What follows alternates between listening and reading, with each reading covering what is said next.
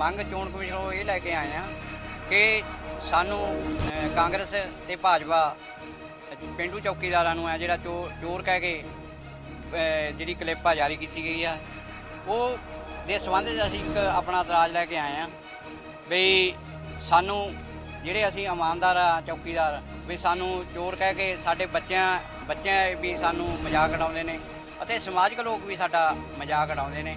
ਅਸੀਂ ਅੱਜ ਮੰਗ ਲੈ ਕੇ ਆਏ ਹਾਂ ਚੋਣ ਕਮਿਸ਼ਨ ਕੋਲ ਵੀ ਇਹਨਾਂ ਦੋਨਾਂ ਪਾਰਟੀਆਂ ਦੇ ਖਿਲਾਫ ਸਖਤ ਕਾਰਵਾਈ ਕੀਤੀ ਜਾਵੇ ਤੇ ਚੌਕੀਦਾਰ ਦਾ ਜਿਹੜਾ ਸ਼ਬਦ ਉਹਨੂੰ ਹਟਾਇਆ ਜਾਵੇ। ਸਾਡਾ ਡੈਜ਼ਿਗਨੇਸ਼ਨ ਹੈ, ਬਹੁਤ ਪਹਿਲੇ ਸੇ ਚੱਲ ਰਹੇ ਹੈ। ਲੇਕਿਨ ਹਾਲ ਦੀ ਘੜੀ ਦੇ ਵਿੱਚ ਕੁਝ ਪੋਲੀਟੀਕਲ ਪਾਰਟੀਆਂ ਵੱਲੋਂ ਇੱਕ ਉਹਨਾਂ ਦਾ ਫੇਵਰ ਮੇ ਕਰ ਰਹੇ, ਉਹਨਾਂ ਦਾ ਇੱਕ ਅਗੇਨਸਟ ਕਰ ਰਹੇ ਕਿਉਂਕਿ ਇਸ ਨੂੰ ਰੋਕਿਆ ਜਾਵੇ।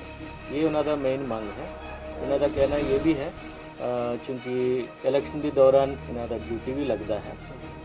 ਇਹਨਾਂ ਨੂੰ ਮੰਗ, ਮਾਣ ਪੱਤਾ ਵਗੈਰਾ ਮਿਲਣਾ ਚਾਹੀਦਾ ਇਹ ਵੀ ਸਾਨੂੰ ਮਿਲਣਾ ਚਾਹੀਦਾ ਇਸ ਤਰੀਕਾ ਦੋ ਤਿੰਨ ਤਰੀਕਾ ਮੰਗ ਇਸ ਲਾਲ ਝੰਡਾ ਬਿੰਦੂ ਚੌਕੀਦਾਰਾਂ ਨੂੰ